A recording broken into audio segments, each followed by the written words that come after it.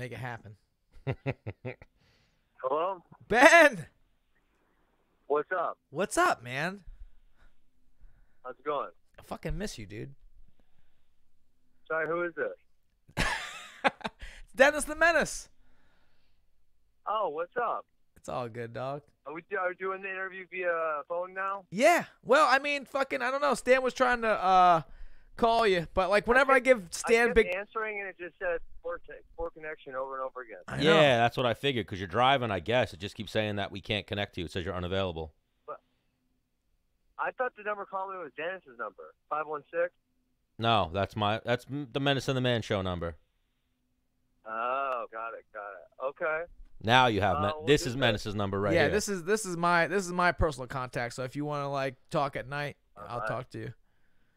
Deal. and you guys got some things to talk about now. I Retired know. life. we're we're Ah, Two high level fighters that are now moving on to the next journey. absolutely. man. Like when I saw you, that you were gonna retire, I was like, dude, this couldn't touch more to me than I think anybody else because, like I saw you say, like you loved wrestling. Yeah. You know what I mean? Like fighting, you just so happen to be good at it, be good at it because you're a competitor, and wrestling was a big aspect of fighting. Yes. And you can fucking make money doing it. It's a no brainer. That's why I did it. Absolutely. I mean, so you, you feel the same way as me or what? oh my gosh. Oh 'Cause yeah. the thing is, getting ready for like a wrestling match, you know, you know what, you know, you've done it a bazillion times. You know what I mean? Like you're not gonna get hurt. There's you're you're not gonna get embarrassed. You know what you're you know the skill level Well, you might it. get embarrassed if you wrestle Jordan Burroughs in New York City. yeah, that's true. Well, yeah, but you but but you weren't wrestling every day for years. Had you been wrestling every day for years, you wouldn't have Yeah, gotten embarrassed by Jordan. you know what I mean? So like that was like one of Yeah. Those, you know, you don't you don't fucking fist fight a man as hard as you can trying to knock them out every single day. Never. Like you do in wrestling, like you try to wrestle someone your hardest every day, so you know what it's Yeah. like, you know. Was you versus Gray Yeah. Maynard in New York? Sure. Uh yeah, I wrestled Gray. Yeah, that was awesome. Yeah, that was four, Ben. You, Yeah. you, you just gave him too much of a lead. You gassed him out at the end, but you, you, know, you gave him too, too many points up front. Ah, well, hang on. I we talked about this. That fucker, like, he made weight before Thanksgiving. uh, Uh, uh, but uh, but no, I just I I know. I'm sure you probably handle like the the pressures of fighting probably better than I do because you've always had a target on your back like throughout college and high school and stuff like that. You've always been the fucking man. Like everyone was like, "Yep, I want to beat Ben Askren." I was always like the underdog. So for me, it was easy to, you know, move up the ranks. But for you, right from the get go, like, "Yep, I want to beat him." yeah, I mean, I, I always relished that thing, and that my wife actually just sent me a picture and said, "You did this," and I'm like, "What?" And it was a it was a picture of um that UFC had put up of like the walk to the octagon, you know, and it's like, yeah, and she goes, "Well, how did it feel?" I never I never really asked you, how did it feel? It's like I loved it. if you told me I didn't have to train, I could do that once a week, I'm fucking in. Yeah. I mean, I love to compete. I relish that opportunity, and my you know my mindset, which I thought was really healthy, was always, dude, we're we're in this wrestling room 12 months a year, and I might get the opportunity to compete maybe 40 times. And so, if I can, if I only get to show you 40 times, but I've been working on it all year, I better I better put my best foot forward. And then you know, fighting, it's terrible. You get to fight three times a year. Right. I mean, one one time in one time in ten years, I fought four times, but a lot of times I fought less than three times. And so, you know, you relish those opportunities to get out there and show everyone what you've been working on. So I, I always love that. I, and you know, I know obviously I'm going to miss it, and uh, but that's something at some point everyone has to walk away from. Yeah, yeah, it, it's it's tough. I remember like the first like two months after I retired. Well, I mean, I actually retired like twice, but one time I didn't tell anybody. After I lost to uh, what was that guy's name? Uh, Rick Rick Glenn. Yeah. Because it, you know, it- hey, that's my buddy. yeah. Before that fight, I'm like, yo, if I lose, because that was my fourth loss in a, in a row. before that fight, I'm like, if I lose this fight, I'm retiring. This guy has no business beating me. And I went out there, I fought him. I thought for sure I won the fight. Like my corner came in, like, dude, you did just what you needed to do to win the fight. Cool. Then they're like, you lose, and I was like, fuck this, fuck this sport, fuck him. I'm done with this shit. And I sat home for like two months, and I was like, fuck, like I'm done with this shit. I'm not fucking fighting anymore. And then I had some like. Ah. I had some like lady problems happen in my life. I'm like, someone's getting fucked up. I'm like, what? I'm gonna do one more. You know what? I'm I'm gonna do back. one more. I'm back now. Yeah, and I ended Nice. on the dub, and I'm fucking done with it. But you know, So, I, what do you do full time now? uh, I'm actually a, a a lineman apprentice. Oh, nice. Yeah, I'm fucking. I'm I'm climbing poles. I'm working poles to keep people turned on. You know what I'm saying?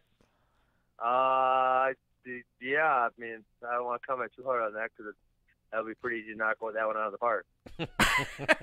well, no, like tur- keep people turned on, their lights on. You know? I, I got.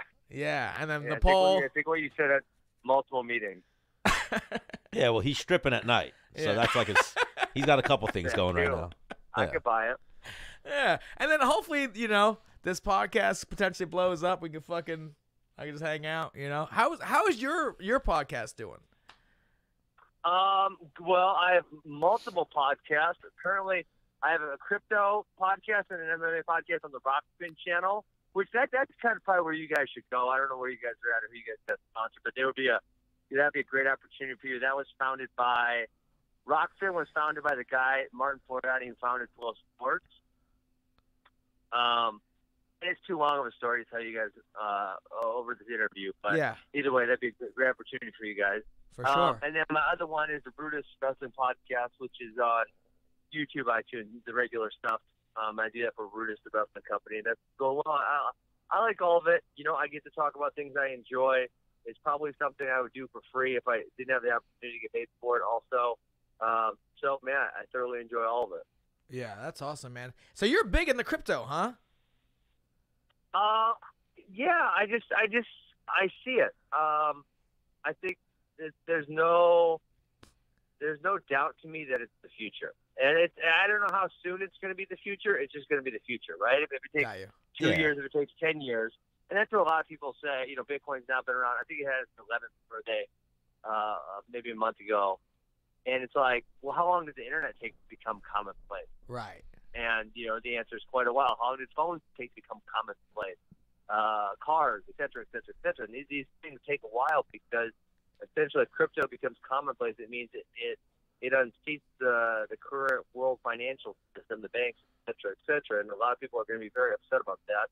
And um, I think people have a tighter bond to their money than most other things. You know, hopping on the internet versus uh, you know watching television. Well, you're not invested too much, right? You can do that. Then you know, I would venture to guess most people in America probably watch some form of the internet, right? Whether it's Netflix or Hulu or their phone more than they watch regular cable television today. Um, but then when you're talking about where you can put your money, now that's extra emotional for certain people. Yeah. For a lot of, I mean, for, for everybody. I'll say for everybody. Because I'm pretty sure Jesse Jansen has like a good amount of money in like crypto. Yeah, Jesse's a very intelligent uh, crypto guy. He was there early into Bitcoin. I wish I was in. I wish I was in as early as Jesse was in. When I first heard about uh like Bitcoin, it was at like 2,500. I wish I bought it then. Yeah. Oh, you fucked up. I know. Well, Phil obviously made money. Phil Baroni made a lot of money with Bitcoin, and then my one friend Space Monkey. There's no way. Phil's lying. You guys are full of shit.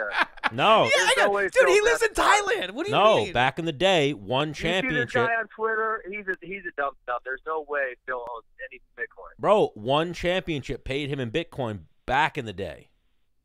dude. No, they didn't. You guys are you guys are eating one of Phil's lines. I'm First not. Of all, if if if Phil didn't get paid, it wasn't very much. Second of all, when one champion was paying him, they were paying him in cash. Not. I mean, you guys remember I fought for one championship for four years. Our friends Yeah, for years. They did. They didn't pay him in Bitcoin. You're full of shit. No, he got paid in Bitcoin back in like 2011. He did not get paid in Bitcoin. Hundred percent. You are lying. One championship didn't exist in 2011. Uh, Then it- God. Then it was what was the other one? Stan, abort. No, he got paid in Bitcoin. You It- saw it? Phil Baroni did fight for one championship, I believe, in 2013 or maybe 2014, possibly. And he did not get paid in Bitcoin. The owner of one championship is actually staunchly against Bitcoin. He doesn't like it. So I can almost guarantee you that didn't happen. Okay. Then it I'm going to wasn't. go ahead and guarantee. I, I I feel like I shouldn't be guaranteeing because I, I wasn't there. But just knowing how they operate, they would never pay anyone in Bitcoin. If your last fight you could have got paid in Bitcoin or some kind of currency, uh, cryptocurrency, would you have rather that versus transfer money into your bank account? I mean, I, I don't think so. I, I I see it as regular money, right? And um, for most people, they would say, and it's probably everybody, you shouldn't put a large portion of your wealth into cryptocurrency, right? Right. Um, At this point, yeah, it's volatile. volatile. Yeah, it's very volatile. now, right now. now putting some of your money in there, you know, say five percent, ten percent, your net wealth probably a good idea. But putting fifty percent in, or putting very large, large sums of money, especially say if you're talking about a fight, Burns, you, I haven't paid taxes on that yet. I get my money, I got to go pay taxes, right? Uh, probably thirty to forty percent. So putting hundred percent of it into Bitcoin and then watch, watching it fluctuate. I mean, if it was November of 2017, which was my last fight in one championship, that would have been fantastic because it would have turned into two, two to three x of what it was. Yeah. But in the case that it was uh, on the downturn and I haven't paid taxes, right there for it. Because because cryptocurrency is essentially I can't believe you bought Phil's bullshit about one championship paying him in Bro, Bitcoin. if it, if it wasn't one, then it was damn Dream. lie. If it wasn't one, it was Dream. One of the Japa- Japanese I Asian want to see the companies. receipts. I want to see. You go find Alex Jones and get me the document. yeah. I'll ask him to produce receipts. I know he bought a strip club and a grape farm with his Bitcoin money. Really? Bro, Oh. and now he lives the fucking dream. He lives in. He moved to Thailand. He has money. Uh, you are just buy, you're buying all of Phil's lines, aren't you? No, not at all. I call bullshit on a lot of his stuff, but that I'm gonna believe because of the financials that he produces. But then even my other boy, saw- he started mining Bitcoin. He bought like the miners. Who? My friend in Rhode Island. His name's Space Monkey. Oh, nice. He's an old school Cool. Hensel Gracie guy. He started mining Bitcoin and he makes like ranges from just from hooking it up to his electric, whatever, and having the machines. He makes like 200 bucks a day. Yeah. 50 bucks to 200 Nice. bucks a day for doing Nice. nothing. I don't get that. I don't. How do I- you mine a, a an? Now that that's now we're way down the rabbit hole. You don't even need to go. We don't. yeah, need to it's go a whole. All right, yeah. all right. I don't fully comprehend all the. I mean, I I, I kind of get a very surface level understanding of the mining, but yeah, then then you're down the rabbit hole. Yeah. The easiest way to uh, understand it to me was it's like a computer that just generates Bitcoin transactions and makes money for you. Huh. Yeah. Yeah. So essentially why Bitcoin is so safe um, and so fair is right. No one owns Bitcoin, so there's it's decentralized. So there's all these nodes all over the world, which any one of them can then look at the ledger, the blockchain. They, they can look at the ledger and verify transactions, and so you know they they race to verify transactions and they get rewarded based on that. Essentially. So Ben Askren will never work a normal job. Oh, I, Again. I, I can't foresee that happening. Have No. you ever worked a normal job? Uh, I painted in the summer of 1998. And that's it.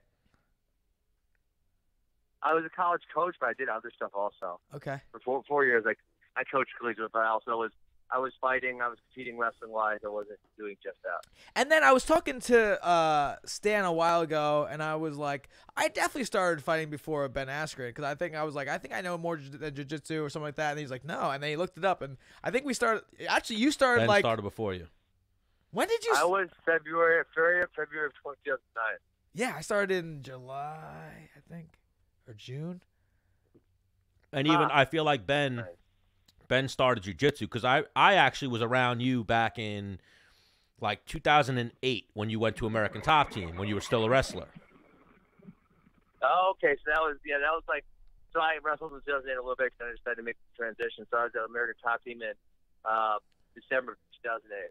Yeah, wow. that's literally when I moved to Florida because I remember you being there and being Oh, like, nice. "Oh shit!" Everyone was like, "No, no, no, that's Ben Askren." Oh, hang on. This is the perfect guy to talk to. Bo Nickal versus Gordon Ryan is going down. Yeah. I know they like I tried to. it's e- I, I think it's easy. I think if Bo takes him down, he's going to get submitted. Um, you know, I know you take away Gordon's whole leg lock arsenal, which is some of his best stuff. right. I just, I would foresee him getting submitted. I mean, if I'm Bo, I I can't foresee Gordon Ryan being able to actually take him down, like Right. actually get a takedown. Now So if I'm Bo, I'm gonna fucking stall it out for whatever time and take him down in 20 seconds. left to win. but the thing is, so Gordon Ryan, I think, I mean, obviously he's got an ego. He's fucking one of the best world champions in the you know jiu-jitsu community. Yeah, but he's been sure. working with my homie Kyle Sermonero. You know Kyle. You mean Gordon has a big? Yeah, yeah, Serm. sir. Big big serm. Yeah. So I would imagine Ryan Gordon's gonna go out there and like see where he's at in the wrestling. Yeah, but he can't take down Bo. He's definitely gonna try, and I I, I like that. That's Yeah, gonna be just 'cause he interesting can try for doesn't me. mean he can. He he can't take Bo down. If Bo doesn't want to get taken down, Right. he can't take him down. And then worst case scenario, he just taps him out on the ground after Bo takes him down. Yeah, like I if- think if Bo takes him down, and if Bo takes him down, and there's a significant amount of time left, he's gonna get subbed. Well, the way they, I know I saw Chael recently say it. They changed the rules a little bit, Right. so no leg lock. It's Well, basically there's no it- there's it- no leg locks at all. and there's Which points. whatever, that's not fair. I could deal. I could deal with that. Yeah. Yeah, it's an old school NAGA match. So basically, Bo could take him down, put his knee in his ass, and he could just break his guard and keep standing up, making him get up. He'll beat him Yeah, I tw- just- twenty to nothing. I don't Yeah, think. but Bo has almost Bo's got almost no um no submission training. I mean, very very minimal, right? So right. I would have to imagine uh, Bo's going to be able to get a takedown if he wants to. I would have to imagine that Gordon will be creative enough to, as he's getting taken down, or as Bo's in his guard, to be able to execute on something. Right. I That's that's what I'm that's what I'm thinking. Now, because you've been through everything Bo's maybe thinking about getting into. What like Yeah. what do you think's the best move for Bo? He's not. I don't. He's I should do it. I said do it immediately. You know, he, he's waiting. He's waiting a year and a half. Not the end of the world. You know, he wants to try to make it a little bit. right. Which Um, is I said I would. I would have went right away after college if I was him. Um, and the other thing I, I don't really love, and I, I actually advised him against this. Um, but they're opening a gym at State College because he's comfortable there and his oh, friends there. And wants right. to stay there.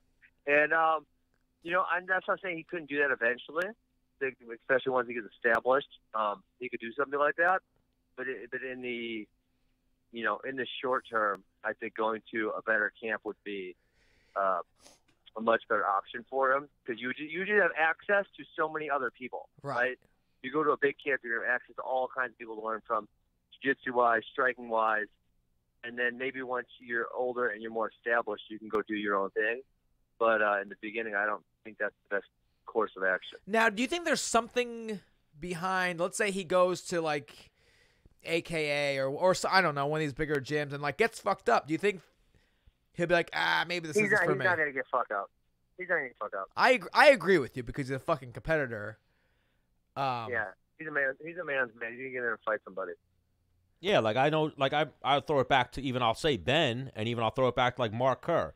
There's sometimes like a grappling Yeah. style has like a natural affinity Mm. for jujitsu or Yeah. submissions. Like well, oh, well, I mean, but worst case, like if you're sparring, worst case scenario, if you're a great wrestler, you can at least take someone down. You Right. beat up, you take them down. I mean, I remember I went and uh, uh, I went to AKA like my first year of fighting, and um, you know, I was like, okay, I'll just stand up with these guys because you know, hey, that's probably what I should do to get better at that.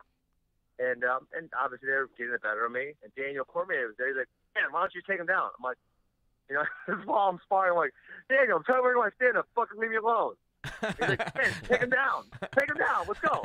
I'm like, all right, fine. Boom, man. You know, and then I can hit a takedown whenever I want. You know, even against pretty good guys. Um, so, you know, you always have that in your back pocket as well. yeah. Well, even that when I lived in Florida and everyone was like, oh no, that's Ben Askren. I'm like, I didn't know wrestling like that. I'm like, who the fuck's Ben Askren? They're like, nah, he's the wrestler. He's the guy Yeah. in wrestling. yeah. Yeah. And then I saw that you were transferring to MMA, and that's why I knew that you started before Menace. I was like, nah, I think, and that's what I wonder about. Bo, I, I wonder about Bo Nickal though too. Has he done some He's gonna jujitsu? Yeah, he's probably done a little bit or even enough jujitsu. A tiny bit, yeah. Hang on, but the thing is, is like Aaron Pico and the should other be. thing, he's, he's probably a 205 pounder.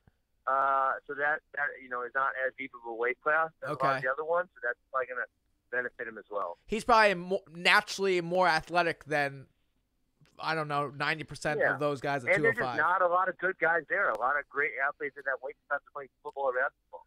Yeah, but going baseball. off of an elite wrestler gone MMA, like Aaron Pico is is not what, I don't know why and he's people can't figure it out. and he's in know. a great think- gym and he's uh uh fucking a good boxer. I'm like, I don't. Does he just have bad luck? Because I mean, that's a real thing in the Uh, sport. I think I think it's he should focus more on his striking defense.